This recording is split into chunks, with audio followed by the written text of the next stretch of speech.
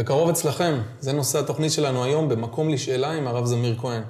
במהלך החיים כולנו חוגגים שמחות ואירועים שונים, ולא פעם אה, מצטרפות דילמות גם לאותם אירועים. האם לערוך חתונה מפוארת במיוחד, איך לבחור סנדק לרך הנולד, וגם מהי המשמעות בכלל של בר או בת המצווה, אם כדאי לעשות בכותל, באולם, מה וכמה ואיך. את כל אלה הערב אנחנו נברר עם הרב זמיר כהן. שלום. שלום וברכה. נתחיל בנושא החתונות. אה, חתן וכלה אומרים בצדק, זה היום הגדול ביותר שלנו, אנחנו רוצים לפנק את האורחים, אנחנו רוצים ליהנות. ובאמת, בתקופה האחרונה שופכים המון המון כסף על כל הדברים האלה, בר ונעליים קופצות וכל מיני גימיקים שונים ומשונים. השאלה האם כדאי, האם הם יכולים באמת לפנק את עצמם בצורה הזאת, או שעדיף להסתפק במשהו יותר קטן, צנוע, אינטימי? מה... ראשית, אני שומע לראשונה על הנעליים הקופצות, עדיין צריך ללמוד מה זה בדיוק. אני אספר לך אחרי השידור. אבל לעצם העניין, זה נכון שאחת ההתלבטויות הכי גדולות של חתנים וחלות לקראת אה, נישואין, עד כמה להשקיע. מצד אחד, מתחתנים פעם בחיים, כך מקווים על כל פנים. ו... ובואו נחגוג את זה בצורה הכי יפה, לא רק מצד האורחים, אלא גם מצד התחושה של החתן והכלה עצמם, שרוצים אה, להרגיש טוב, ומשדרים גם זה לזו, עד כמה הערב הזה גדול בעיניי, ועד כמה את יקרה בעיניי, ואתה יקר וכן הלאה. יחד עם זאת, צריך לזכור שמישהו אמור לשלם על כל ההוצאה הזו.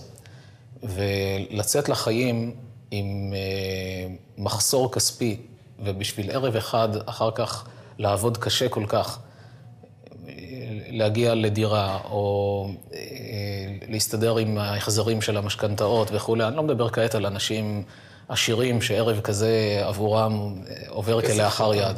אני מדבר על אדם ממוצע, כמו כל אחד מאיתנו, שרוצה באמת אה, מצד אחד לחגוג אירוע גדול ויפה, ומצד שני אה, לא להיכנס למשברים כלכליים. אני יכול לומר לך שאני יודע על מקרה של זוג שהגיעו לגירושין. הם השקיעו בחתונה סכומי עתק ממש, והיו בטוחים במאה אחוז שכל הכסף הזה יחזור מהמתנות. בסופו של דבר הכסף לא חזר, החתונה הכניסה אותם לחובות. התחילו ההאשמות ההדדיות, מי אשם בעניין הזה, מי דרש ומי לא דרש, ובסופו של דבר הגיעו ממש לגירושין. אין טעם להיכנס ל... לראוותנות יתרה, כשבדרך כלל כמה אנשים ידברו על זה, כמה זמן. אז יאמרו שהחתונה הייתה יפה, מוצלחת, אבל מי שבפועל ישלם לאורך ימים ושנים אלה בני הזוג עצמם. לכן הכלל תמיד, מצד אחד, שהחתונה תהיה נעימה, שאנשים ירגישו בנוח, שבני הזוג ירגישו בנוח. יחד עם זאת, לא צריך את כל ההפתעות והראוותנות. אם מדובר בהפתעות זולות, בדברים פשוטים שיוצרים אווירה, אז אדרבה, אבל לא, לא כזו שמשליכה לאורך זמן. ואני רוצה להוסיף, אפילו במקרים שברור לבני הזוג שהמתנות כן יכסו את הערב. זה לא אומר שכל מה שנכנס הערב חייב גם לצאת. אדרבה, הם יוצאים לחיים, אמורים לבנות את עתידם. אין טעם להתגולל אה, בשכירות מדירה לדירה, והיום לקנות דירה לא קל ולא פשוט. ככל שיוכלו לצאת לחיים עם אה, הכנסה גבוהה יותר, וגם אם בכל מקרה הם אמורים לקחת את המשכנתה, אבל לפחות המשכנתה תהיה בסכום קטן יותר, ההחזר החודשי מצומצם, בשביל הערב הזה לא צריך לסבול לאורך ימים ושנים. אוקיי, ולגבי האורחים, בשנים האחרונות, יש יותר ויותר אלכוהול באירועים, וזה משהו שמטריד אותי באופן אישי, והאמת גם מרגיז. מלעיטים אותם פשוט באלכוהול, וזה ברים, ובחורות מסתובבות בין כל הרוקדים ומשקות אותם. זה בסדר בכלל לתת אלכוהול לבן אדם שנגיד החתונה בחיפה, והוא אחרי זה צריך לנסוע לירושלים? אני מסכים איתך שיש בזה הפרזה, אבל לא רק הבעיה היא לא רק בהפרזה ובבעיה של הנסיעות, שכמובן סכנת דרכים, פיקוח נפש, זה עניין. הכאב היותר גדול הוא, למה בעצם צריכים להגיע לשמחה דווקא מתוך אה, דלקה חיצונית כזו, שצריכים להלעיט את עצמם במשקאות חריפים כדי לחוש שמחה ולהביא לידי ביטוי את הכאילו שמחה הזו, כי זה ממש כאילו, זו שמחה חיצונית, לא פנימית. אני חושב שככל שנשכיל לחנך את עצמנו, את ילדינו ואת החברה בכלל בישראל, שכשיוצאים לאירוע, יוצאים לחתונה, לא יוצאים מתוך מטרה להעביר ערב של בילוי כלפי עצמנו, האנוכיות שלנו. זה נכון שכדרך אגב, גם המוזמנים נהנים, אבל כל אורח בחתונה צריך לתת לנגד עיניו את המצווה הגדולה של לשמח חתן וכלה, שזו אחת המצוות הבכירות שיש. צריך להבין למה היא כל כך חשובה, אבל ביהדות יש משקל על לשמח חתן וכלה. וכאשר מגיעים לאולם, על דעת שאין אני, יש פה מלך ומלכה, שהם החתן והכלה, ואנחנו באים לכאן רק כדי לשמח אותם. אין, אין מילים לתאר את השכר העצום שחז"ל מפרטים במה שמקבל אדם כזה שזוכה באמת לגרום לחתן לחייך, לכלה לחייך, לשמוח. כשזו המטרה ורוקדים ושמחים סביב החתן, בפרט בחתונות נפרדות, שזה הדבר הנכון והראוי, שיש סביב החתן את חבריו ואת בני המשפחה, וסביב הכלה את חברותיה ובנות משפחתה. הריקודים והשמחה, כשכולם מרוכזים רק באדם הזה, כל שאיפתי לשמח אותו. כשזו ההתבוננות, לא צריך להגיע לאלכוהול כדי להגיע לשלהבת פנימית ולחום פנימי ורצון לבטא עם אושר ושמחה, ואפשר לראות, אפשר לראות אה, חתונות כאלה שנעשות על טהרת הקודש, כשהמטרה של כולם רק לשמח את החתן והכלה, רואים שם שמחה אמיתית. לכן, מבחינה מעשית, כל זוג שמתחתן, גם אם יודעים שבני המשפחה מצפים ומייחלים לכמויות של אלכוהול, חובה מוטלת עליהם, לא רק זכות. חובתם כמארחים לדאוג שלא יהיו שם כמויות של אה, אלכוהול. לכל היותר, שאתה, די שיהיה את הבקבוק האחד, בקבוק יין, או אני לא יודע מה מקובל, אבל אה, אה, במידה מסוימת, שאנשים יוכלו מצד אחד לחוש בנוח, מי שרוצה קצת לקבל יותר שמחה, אז שישתה משהו, אבל ודאי לא בברים ובכמויות כאלה שיגרמו לאנשים להגיע לפעמים לסכנת חיים, הן באולם עצמו, שמשתכרים ומקיאים ומגיעים אפילו לסכסוכים בין בעל לאישה, כי בשעת שכרות הוא התנהג בצורה שאינה ראויה, והאישה אחר כך רבה איתו לאורך זמן, לפעמים התגלגלו מזה תקלות נוראיות. מי, מי אחראי לכל זה? אותם חתן וכלה שהביאו את, את, את אותם אנשים למצבים האלה. אז לדעת איך הכל במידה, מבלי להפריז. אז בפועל אנחנו מדברים על יין, בירות, דברים פחות אלכוהולים, לא וודקות ודברים בליגה הזאת. אני מרגיש קטן מכדי להכתיב אה, את השמות ומה כן ומה לא, אבל הקו המנחה שצריך להוביל, שאנשים ישמחו, יקבלו את הרוגע שלהם, אבל לא לשלהב אותם מאלכוהול וכמויות כאלה שמביאות אנשים לטירוף וסכנות דרכים וכל המרעין בישין. הבנתי. טוב, אז הזוג הזה התחתן, ועכשיו בשעה טובה נולד להם אה, בן, והם אה, תוהים מי יהיה הסנדק. האם יש בכלל משמעות לעניין של הסנדק, או שזה סתם תפקיד של כבוד כזה? המקובלים מציינים שהאופי של הסנדק משפיע על האופי של הילד.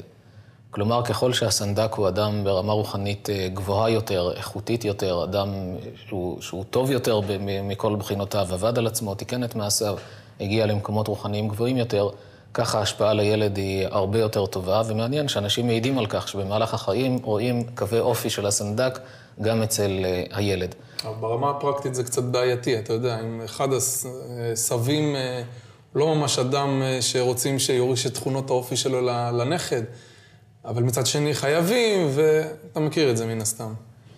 כן, במצב כזה, כשהורים מתייעצים, מה לעשות? הם רוצים אה, תלמיד חכם, למשל את הרב של, ה, של האבא שחזר בתשובה, ושהוא יהיה הסנדק, ומצד שני, הסבא מצפה לכך שהוא יהיה הסנדק, ו, ומדברים בפירוש שהסבא אדם בעייתי, כן? ניתן להגדיר גם במילים, וההתלבטות אה, גדולה. במצבים כאלה יש אה, כמה דרגות. ראשית, הנכון ביותר לפנות לסבא ולבדוק מי האישיות הרוחנית שמקובלת עליו. כלומר, אם הסבא מצפה להיות סנדק, ורבו של החתן או של הבן, לא, עבורו הוא, הוא שום דבר, הוא לא מעניין אותו. אבל ישנה אישיות נערצת עליו, רב השכונה, רב בית הכנסת, רב העיר. אה, אף על פי שה... האבא של, ה, של התינוק חש שהרב שלו אולי יותר גדול מאותו רב בית כנסת, או... אבל אתה יודע שלאותו אדם הוא לא יתרצה. ולעומת זאת, אם אתה אומר לו ש... ש... שיכבד את הרב שלו, שיגיע, או את הרב שהוא מעריץ, גם אם הוא לא בדיוק הרב שלו, לזה הוא כן יתרצה, ודאי שעדיף בצורה כזו ולא להיכנס לקצרים ולאי נעימויות בתוך המשפחה. בכל מקרה אסור להגיע למצב של ריב והקפדות וכעסים, כלומר, לגרום מצוקה לאדם אחר, תחושה של זלזלו בי ואני לא מעניין פה אף אחד, זה גם לא נכון. אז אם ניתן באמת לפייס לרב הזה או לרב ההוא, לאדם, אפילו אם הוא לא רב, אבל על כל פנים ברמה רוחנית נאותה, שיהיה מקובל על כולם, אז זה טוב מאוד. במידה ורואים ואין מנוס. אין מנוס, ולפעמים דווקא אותו אדם שהוא בעל תכונות לא כל כך חיוביות, הוא זה שאותן תכונות גם מביאות אותו לריב על כס הסנדקות והכבוד שהוא מרגיש אה, שנלווה לאותו עניין. במצב כזה אפשר לתת לו שיהיה סנדק, ולומר פשוט במילים פשוטות, בתפילה לקדוש ברוך הוא, שההורים יתפללו, שהם מבקשים שהזכות הזו של השלום שהם דאגו שיהיה בתוך המשפחה, שתעמוד לילד הזה, שהילד הזה יקבל רק תכונות טובות וחיוביות וכולי, ובנוסף ידאגו לשם, גם השם משפיע על האדם, וכשנותנים את השם לילד, לקשר אותו לכל גדולי ישראל שנקראו באותו השם. זה נכון גם באופן, למשל, ששמו של עשיו הוא משה, אבל יודעים שהמשה הזה לא כל כך אה, בסדר בהנהגותיו. מצד שני, חייבים לקרוא על שמו כי כך מקובל, ועלולים לפגוע בו. יקראו לו משה. אבל יסכמו בינם לבין עצמם שאנחנו מחברים את התינוק הזה, שנקרא בשם משה, במחשבתנו, אנחנו מכוונים על שם משה רבנו ועל שם כל גדולי ישראל לדורותיהם, רבי משה בן מימון, רבי משה בן נחמן, כל גדולי ישראל שנקראו בשם משה, כי למחשבה יש כוח גדול לקשר בין הרך הנולד לבין אה, אותו אדם שמכוונים על שמו. והנקודה השלישית, שבמצב כזה יש שנוהגים בזה, אבל צריך גם כאן להיזהר שלא לפגוע, שאדם אחר שהוא כן בסדר, יחזיק את ברכי התינוק בשעת הברית. כלומר, מלבד הסנדק, שהתינוק נמצא על ברכיו, לבקש מעוד מישהו שיחזיק את ברכי התינוק, שזה גם דבר שמשנה את, ה, את האיכות של הסנדקות. זאת אומרת, הזוג באופן מסוים נחשב אה, סוג של סנדק? הוא סוג של סנדק, כן. מי שמחזיק את, ה, את הברכיים, מבחינה מסוימת אפילו זו סנדקות ברמה, ברמה יותר גבוהה. אוקיי. Okay. לגבי שמות, הזכרת, אנחנו לא ניכנס לכל הנושא הזה עכשיו, כי זה באמת uh, מצריך תוכנית שלמה, אבל תן, תן לצופים שלנו כלים uh, מה כן לבחור, זאת אומרת, איזה שמות הם כן רצויים וכן טובים, ומה לא. כל שם שהוא בעל משמעות שלילית, צריך להימנע ממנו לחלוטין. גם אם בעולם הוא הפך להיות שם אה, פופולרי. שמות כמו חרבות, חניתות, דברים כאלה שהם בהקשר שלילי ודאי להימנע. אה, יש שמות ניטרליים, שזה לא חיובי ולא שלילי, כמו אגם, כמו... שבעצם אין כאן, אין, אין משמעות מיוחדת שהילד אמור להפיק תועלת מה, מאותו שם, אבל מצד שני אין בזה גם משמעות אה, מזיקה. אם זה שם עם קונוטציה קצת אה, נוצרית. כמו? כמו... מריה. סטפני למשל, מריה. אלה לא, לא קצת, אלא המשמעות היא, okay. אוקיי. אז ודאי שצריך לא רק להימנע, אלא גם מי שנקרא בשם הזה צריך לשנות. Okay. אוקיי. מי שנקרא מריה צריך לעבור למרים, שמות, בכלל, שמות לועזיים, תמיד טוב או לשנות לחלוטין, לשם עברי, עם משמעות חיובית, או לפחות להוסיף שם עברי ולהשתמש בו כמה שיותר, גם אם לא רק, אבל ככל שניתן. השמות הטובים ביותר, האיכותיים ביותר, אלה שמותיהם של גדולי ישראל לדורותיהם.